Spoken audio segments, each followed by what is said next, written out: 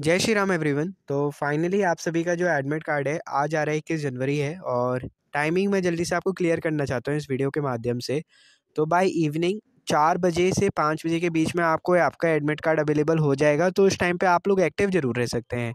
तो यही चीज़ें क्लियर करनी थी कि जिससे कैंडिडेट्स बार बार परेशान नहीं होंगे और आपका एडमिट कार्ड शाम को अवेलेबल हो रहा है तो निरंतर आप अपनी तैयारी पे फोकस करें और हो सकता है बहुत सारे कैंडिडेट्स को एडमिट कार्ड आ जाने के बाद कुछ प्रॉब्लम का भी सामना करना पड़े। तो कुछ नहीं करना है, जैसे ही एडमिट कार्ड आता है वो आज आखिरी दिन नहीं है डाउनलोड करने के लिए, आप कल भी कर सकते हैं। बने रहिए चैनल पे आगे के लिए।